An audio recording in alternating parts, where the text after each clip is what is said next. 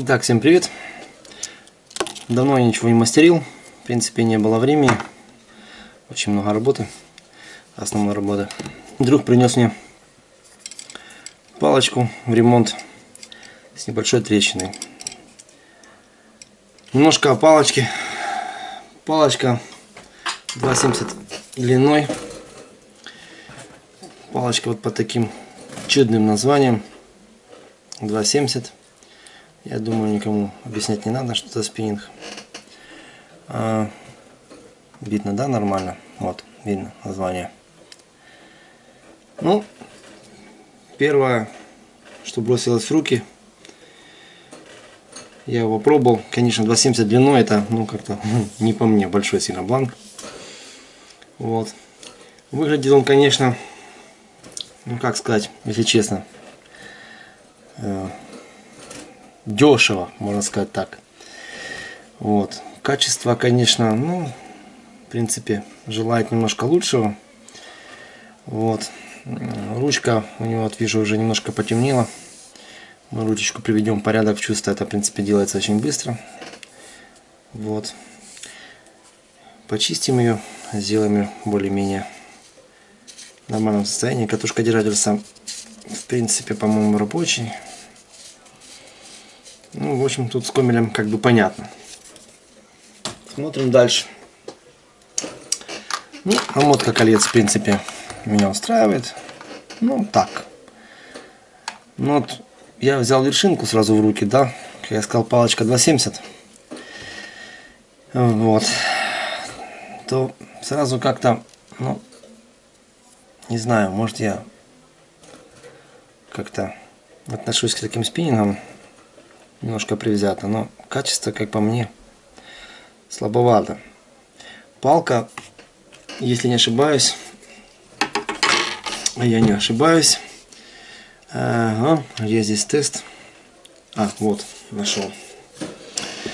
Вот есть у них такой вот таблица, да, и вот такие есть у них здесь модели. Вот здесь вот стоит галочка написано 1540 2,70 длиной 1540 я думаю в принципе видно.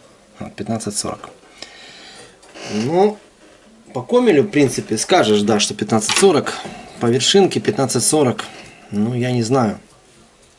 Да она дубовенькая но мне не понравилось то что здесь вот все-таки внутри как ни крути но стенки э, самого бланка ну не знаю тонкие я брал другие бланки, мне ну, было с чем сравнивать, да, вот относительно даже с тем э, Golden Cage Sprinter, у меня был бланк 270, то э, толщина бланка внутреннего диаметра, ну, в смысле стенки бланка, намного была толще.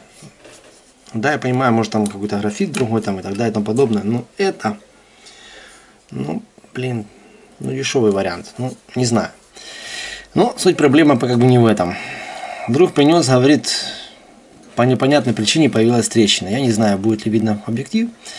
А, вот, но я думаю, вот сейчас проворачиваю бланк, и вот видно вот здесь вот трещина. Небольшая трещина.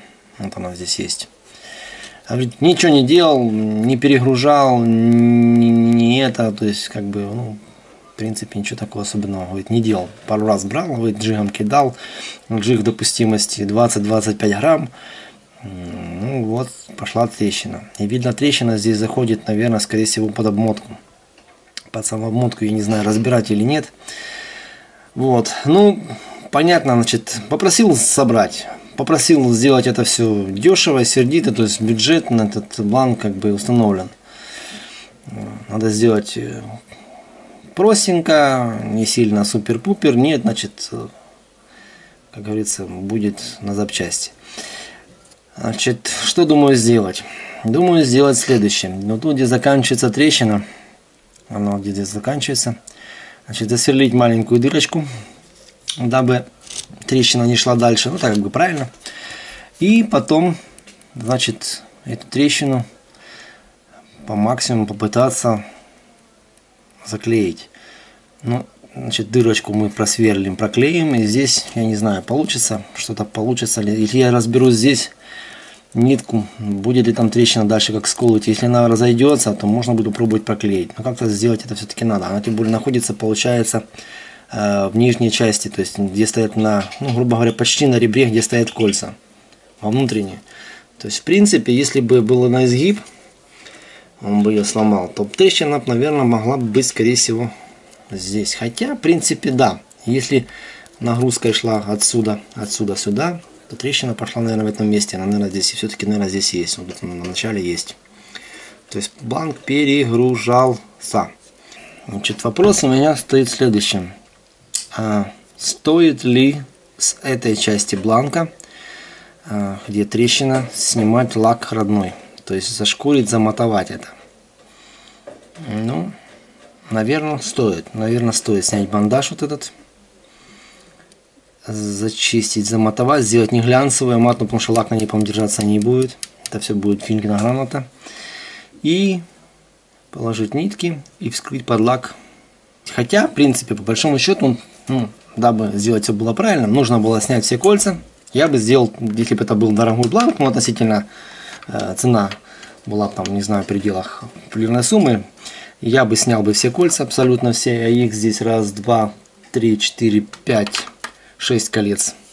Я бы снял все кольца, нашел бы шпигот, который бы заходил наверх, и сюда сделал бы наверх ставочку. И то потом уже закрыл бы декоративными нитками, э, красивыми, какими тонкими, неважно. Закрыл бы и сделал бы все это под лак.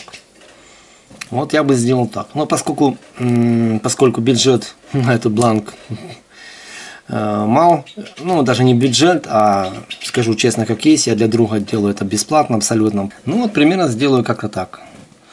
Вот. Можно было, конечно, сделать шпигут внутрь, но эта же часть, получается, насаживается на комель.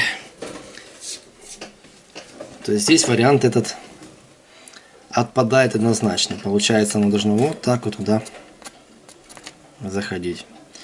И как раз заходит как раз трещина именно по этой длине. Может быть попал когда-то туда камушек вовнутрь, я не знаю, самой бланк, может быть их по неосторожности загнал туда. И вот получилась поломка. Ну, будем делать, справлять, посмотрим, как получится дальше.